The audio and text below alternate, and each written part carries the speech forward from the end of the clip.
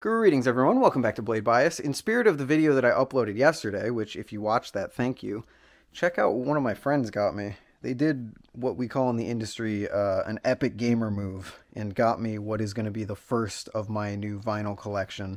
I've wanted to collect vinyls for a really long time just because I love the album cover, uh, art that goes on them, and then the records themselves, and then listening to them even though I don't have a record player yet. I want to have a whole setup, but that's pretty cool. And I wish I had that when I was filming the video that I talked about Clancy because it would have been fun to hold it up and stuff. Anyway, that little shout out aside, today is a video that I have long, long, long, long feared. If you've asked me in the past, Ethan, you should do a tutorial on this trick, or you should tell me how you do this trick, I've probably responded with something along the lines of, no, I am terrible at tutorials, which is true. I really just don't enjoy explaining balisong tricks, and I'm especially not good at them. I think you've seen in the past that I've struggled with doing coherent training uh, tutorials, not training, tutorials of certain tricks just because I'm not very good at explaining things. I'm barely able to do the tricks myself competently, so explaining them to someone else doesn't really work. The problem is my most requested thing lately for whatever reason, besides can you check out X Balisong that I just don't want to check out, like the C116 on Amazon. That's a good one. Um, it has been the most common comment has been, how do you do that fan to choker fan thing that you do? I've had people ask me for slow-mos. I've had people ask me for videos. I've had people ask me to, for tutorials.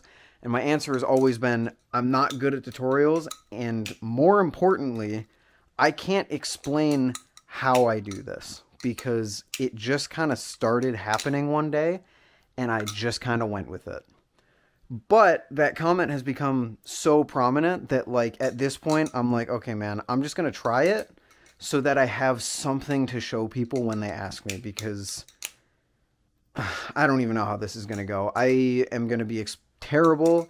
I'm already terrible at, at tutorials and I don't even know how I did this in the first place. I don't know how I learned it. I can't give you any tips that help me because I, I don't know. So I'm going to try my best. The first thing, you need to know three things to be able to do this. You need to know how to fan, obviously. You need to know how to choker fan, obviously. But a little less obviously, you need to know how to stop your fan and reverse it. Just like that. Stop the fan, reverse it, and keep it in a sort of flat open pattern like that. And that, if you can't do that, is literally just, hey, I'm grabbing it with my thumb. Normally when you fan, you grab it with your thumb and you, you torque that way. Now we're going to stop it with our thumb. We're going to torque the other way. And sometimes that involves shaking your wrists uh, backwards a little bit if you want to keep it going. But usually, if you get good enough at it, you can just do like a single a single backwards twist, and that will get you enough momentum to get you to the end of the trick.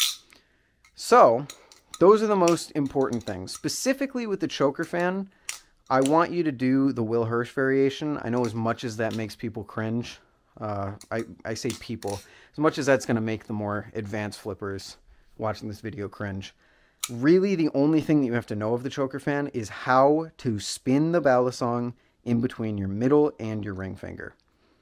Just like that. And then what to do afterwards. So to start out, we're just going to do a normal fan. Get used to how that feels and get used to stopping it and closing it or stopping it and bringing it into a different position. Because that is what we are going to do. We're going to basically stop and reverse the momentum of the balisong itself but at the same time, we're going to turn our wrist downwards. What that's going to do is that if you don't move your thumb or your index finger, you, when you stop the balisong and then you kind of do that twisting motion to get it going into a different fan, you're kind of combining this backwards motion with your thumb with this downturn of your wrist and it will create that effect. And if you get that kind of fan to get going, then you know then you're on your way to doing it.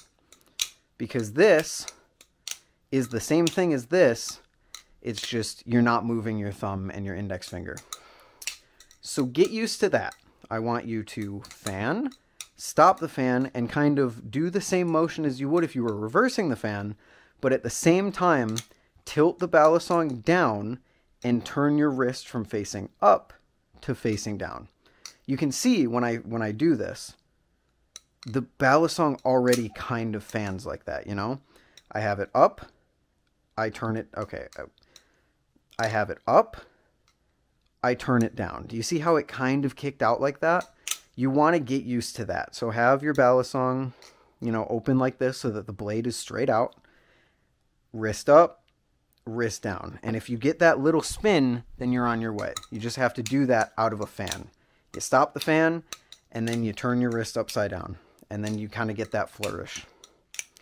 Now what's going to change if you want to do a specific choker fan from that fan is you are going to press your thumb, you're going to move your index finger, and you're going to use your thumb to press the handle in between your middle and your ring finger, just like you would a normal choker.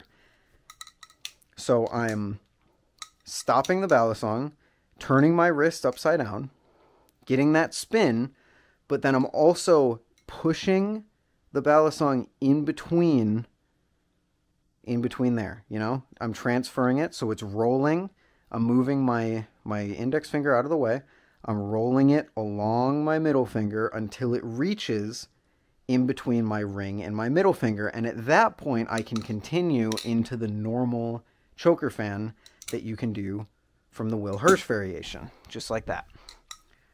And that's basically it. It's kind of all about just kind of getting used to that motion because the faster that you fan and the faster that you can reverse fan, the more that you're going to be able to get momentum into that choker fan to get it to go longer and faster. And this really was just something that I started doing one day and I've I haven't really practiced it. It's just something that I've gotten more spin on as I've tried it. So it's something that you're probably going to have to work at over a longer period of time.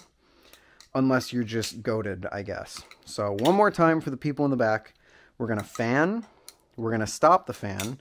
And we're going to act like we're going into a reverse fan. But at the same time, we're going to kick our wrist from facing up to facing down while that's happening, while you get that spin, if you get that spin, you're good.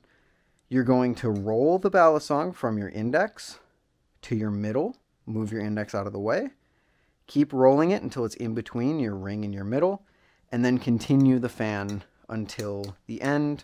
Whatever you want to do. You could even catch it in an ice pick, maybe. If I can learn Nope, I need to keep going a half turn more than that, like that. There we go. And it's pretty cool, and it's epic, and uh, yeah, I'm sorry. That's my attempt at explaining it. I'm dog shit at tutorials. I wish I could do tutorials because it would genuinely open up like a very large pool of content that I could do. But I don't enjoy them and I don't think I'm good at them. So I'm going to leave the people who are much better at that kind of stuff to teach that stuff.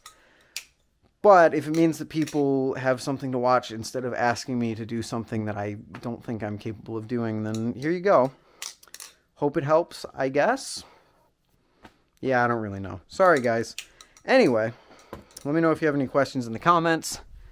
Uh, and if you need a slow-mo, I guess maybe I'll put one somewhere in my Discord or something. I don't know, man.